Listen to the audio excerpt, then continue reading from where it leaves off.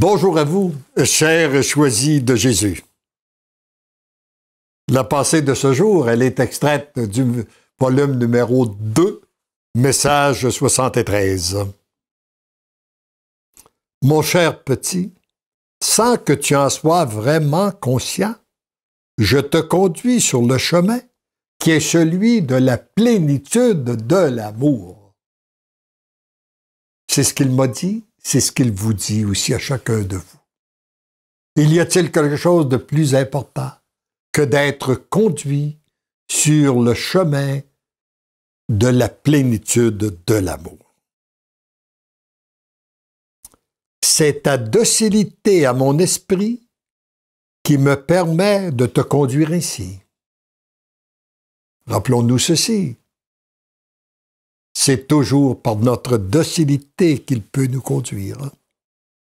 Et en même temps que tu avances sur ce chemin, c'est une multitude de personnes qui se mettent en marche sur ce même chemin.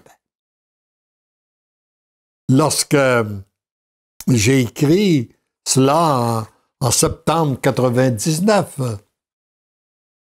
je n'étais, j'étais bien, j'étais plus ou moins conscient de ça.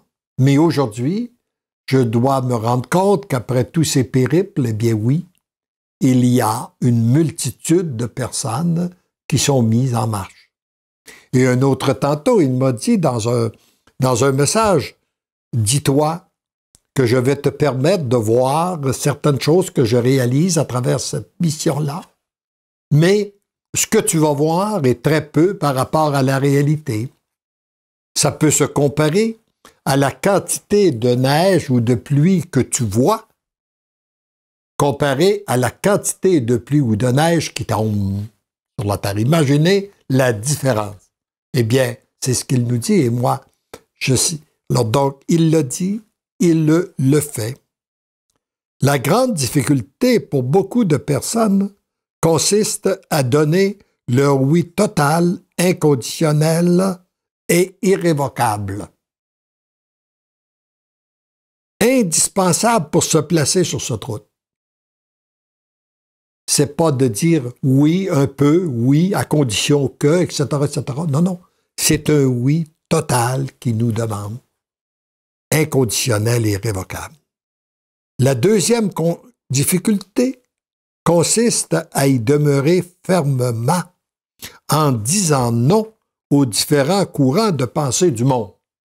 Parce que nous vivons dans un monde qui a voulu se construire sans Dieu, alors nous ne pouvons pas donner notre oui à Dieu et en même temps se laisser influencer par ces grands courants de pensée du monde.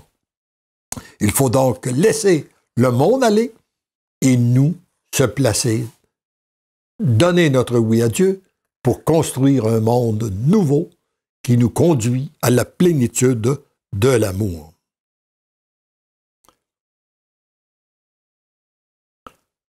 C'est à travers ces difficultés que s'exerce le choix de la personne. C'est à elle et à elle seule qu'il appartient de choisir. Dieu nous laisse entièrement libres. Il n'y a personne sur cette terre qui peut vous obliger à donner votre oui à Dieu. Mais il n'y a personne qui peut vous en empêcher non plus. Parce que c'est une décision qui se prend entre lui et nous. Et c'est à chacun de nous qu'il appartient de la prendre.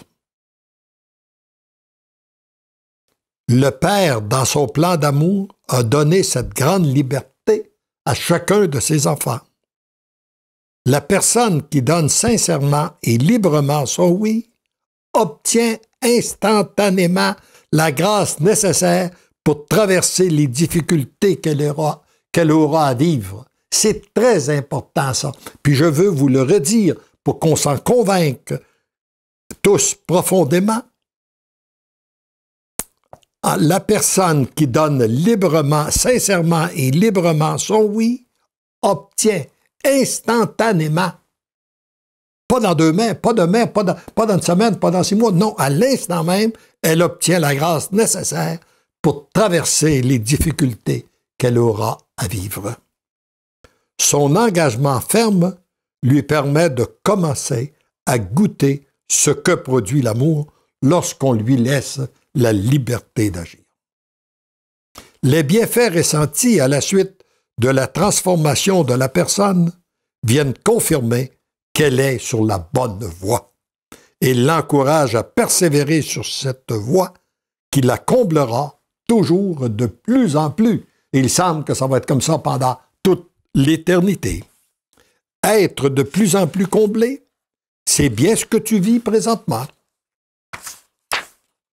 À travers l'intimité que nous avons ensemble. Et c'est ce que qu'obtient et qu'obtiendra chacune, chaque personne qui donne ou donnera son véritable consentement. Continue à te laisser aimer sans l'avoir mérité. Continue à te laisser transformer. Continue à te laisser guider. C'est ainsi que l'amour t'aime et que tu deviens l'amour, tendrement et follement